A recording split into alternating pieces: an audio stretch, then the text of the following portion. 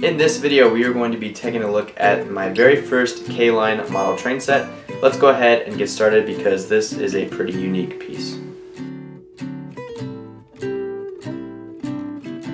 Here on the layout we have the Kennecott Copper Corporation train set put out by K-Line. Now I challenge you viewers at home to try to say that phrase five times fast. It's quite challenging. Now this train set here on the layout is actually modeled after a real mining corporation in Utah.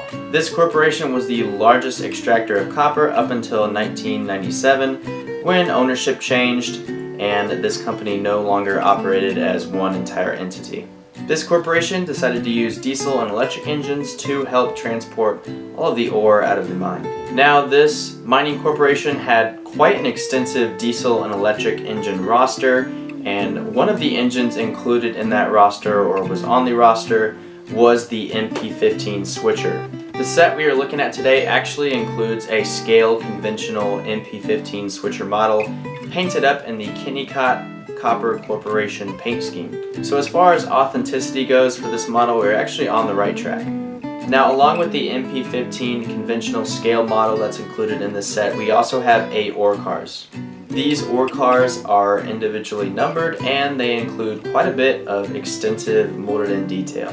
Now each ore car is kind of painted up in the Kennecott Copper Corporation paint scheme, the green and yellow paint scheme. Now I'm sure in real life these ore cars were not that way at all. They weren't this fancy, but nonetheless these are still cool pieces for the set. Lastly, included in this set is the work boost. Now, unfortunately, my light has detached from the base, but glue can fix that really easily. It's an easy fix, I'm not worried about it. Before I share my thoughts about this set and kind of why I was interested in it, let's go ahead and watch this piece run around the layout for a little bit.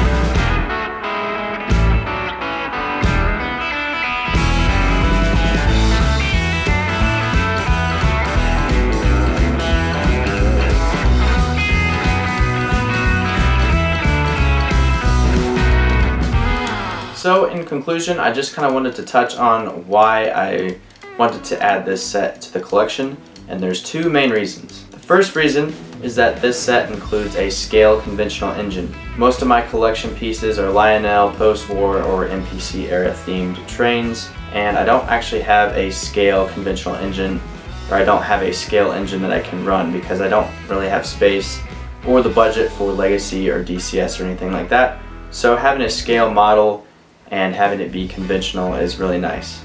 The second thing is that this set includes ore cars and I don't have any ore cars so it's really cool to add some ore cars to the collection especially since I'm kind of modeling a mountain. So I guess I can kind of pretend that I have a mine somewhere behind the mountain. I guess there's another line that goes back there or something. I don't know. Just trying to get a little bit creative. But yeah now I have ore cars on my layout and they look kind of cute going around my layout especially on the inner loop Alright guys, nonetheless, I hope you learned something today and I appreciate you taking time out of your day to watch my videos. And as I always say, I will see all of my wonderful viewers in my next video. Take care everybody.